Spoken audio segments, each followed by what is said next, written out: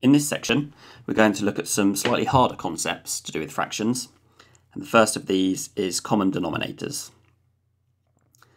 And the way you find a common denominator between two fractions is you find the lowest common multiple of the denominators. So I think the easiest way to demonstrate this is to go through an example. So here we need to put these three fractions in ascending order. And to put them in an order it's much easier if you've got the same denominator for each fraction.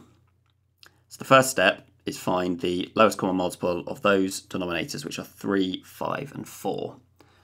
I'm not going to go through how to find that in too much detail here. Uh, we have gone through it in an earlier section, so if you're not sure, I recommend going back and watching that again. So the lowest common multiple of 3, 5 and 4 is 60. And then you want to look at how many times each of your denominators goes into that new number. So 3 goes into 60 20 times. 5 goes in 12 times. And 4 goes in 15 times.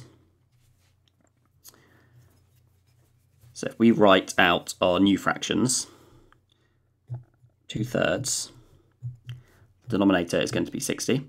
And then to find the numerator, all you do is multiply your old numerator by this number over here.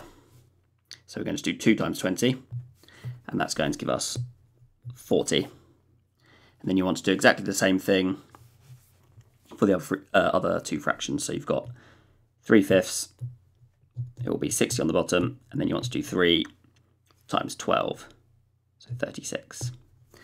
And then you've got 1 quarter, again 60 on the bottom, and your numerator will be 1 times 15. So you get 15 over 60. So now we've got these three fractions. It's much easier to put them in ascending order now. So we've got 15 over 60, then 36 over 60, excuse me, and then 40 over 60. When you're writing your final answer, just be careful that you write the fractions out in their original form. So the smallest one is 15 over 60, which is a quarter, so that goes first. Second biggest is 36 over 60, which is 3 fifths. And then the largest is 40 over 60, which is 2 thirds. And that's your final answer. Now let's look at how you add and subtract fractions. The first step usually is to convert your numbers into improper fractions, then find common denominators and then you can simply just add your numerators. So this example, we've got one and a seventh, seventh plus two and a half. First step, you want to convert those those uh, mixed numbers into improper fractions. So one and a seventh becomes eight sevenths. And again, we've gone over this in a previous section, so if you're a bit unsure, maybe go back and watch that part again. So one and one seventh becomes eight sevenths and two and a half becomes five halves, or five over two. Now we need to find common denominators, which we've just looked at. So the lowest common multiple of 7 and 2 is 14. So that's going to be the new denominator for each fraction. And 7 goes into 14 twice, so that means we need to double the 8. We get 16.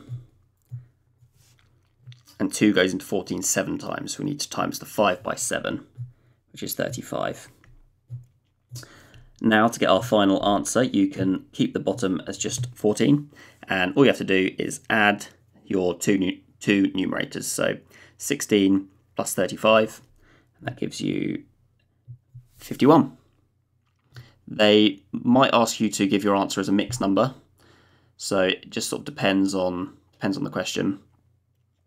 But here we can leave our final answer as an improper fraction. Let's have a look at just one more example for adding and subtracting fractions. This one is now a subtraction. Same method as before. First we want to convert into improper fractions.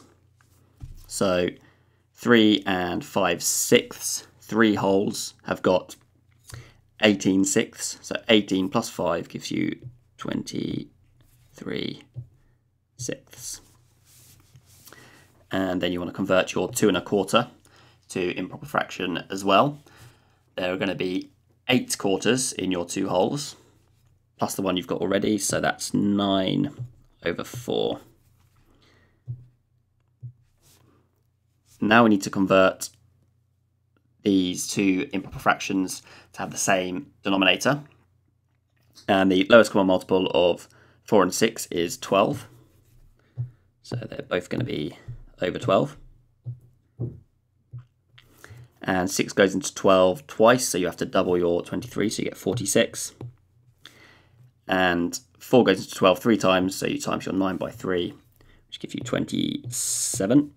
Oops. There we go. So now, as before, you keep the bottom the same, and you just have to subtract your numerators. So 46 take away 27 is going to be 19.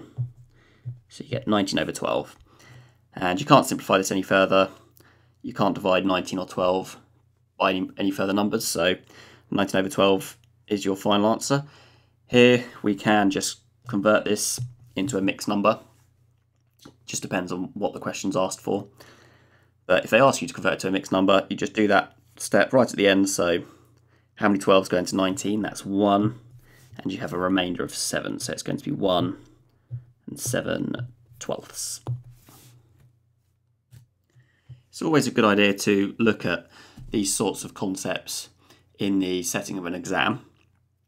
So here we're going to look at a few different exam questions involving the concepts we've been looking at with fractions. This first one, you can see it's a two-part question, two marks for each part and it's fairly straightforward addition and division questions involving fractions. So we're doing 2 sevenths plus a fifth, and we need to find a common denominator before we can add them. 7 and 5 both go into 35, so we can choose 35 as our denominator. 7 goes into 35 five times, so we need to do 2 times 5, which is 10 and 5 goes into 35 seven times. So we do 7 times 1 and we get 7. And then now we simply just add the numerators and we get 10 plus 7, which is 17. So we get 17 over 35 as our final answer, and we can't simplify that any further. Part B, now we're doing a division. You can see we've got a mixed number there, so the first thing we need to do is convert that into an improper fraction. We've got one whole, which is the same as three thirds. So if we add that to the two thirds, we've got five thirds in total. And we're dividing by three quarters. Now we need to flip this second fraction, three quarters, and change the division sign to a multiplication sign. So we get five thirds times by four thirds.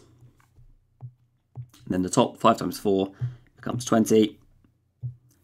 And 3 times 3 becomes 9. And we can't simplify this any further either, so we get 20 over 9 for part B.